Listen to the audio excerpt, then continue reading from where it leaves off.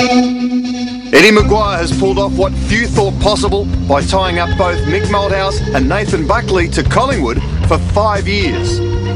At a club whose history is as storied as any, this was a big deal.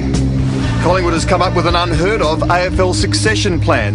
Malthouse remains the senior coach for the next two years, then hands over the role to his new assistant, Nathan Buckley.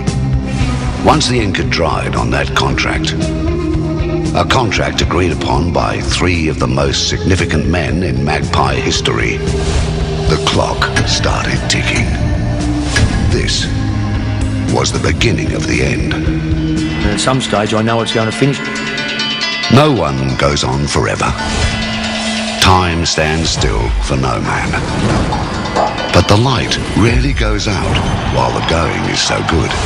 That it is at Collingwood. So Collingwood win. It doesn't get better than that. A veteran coach? Yes. A tired coach?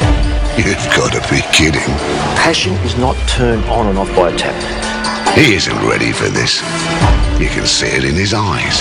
I can't come at the end of my last game this year, whenever it may be, and say, that's it. He wants the clock to stop ticking.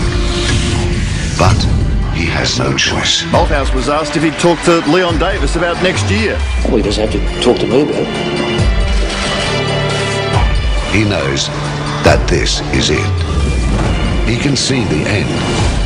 He can hear the tick, tick, tock. Does he have eight quarters left? Twelve? I think I've one more year left, Ed. Um, they are my boys and I love them dearly. They have been outstanding. He knew, as did they, that this day would come. The Magpies have locked in two giants. They'll need to be big enough to make it work. Well, it's almost here. An era is about to end. He's taken them to the top once.